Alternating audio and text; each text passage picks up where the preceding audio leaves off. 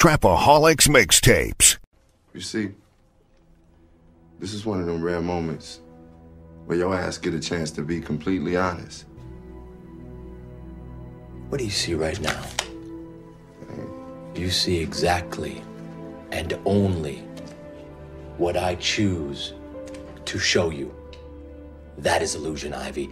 That is the lie that I tell your eyes. Making the magic happen in the moment, in that split second. But seeing behind this motherfucker and knowing that it's all bullshit. Yeah, you on some bullshit. But I can shape it, I can shift it, I can make it as real as this room. That's why I'm valuable here, Ivy, and that is why you are not.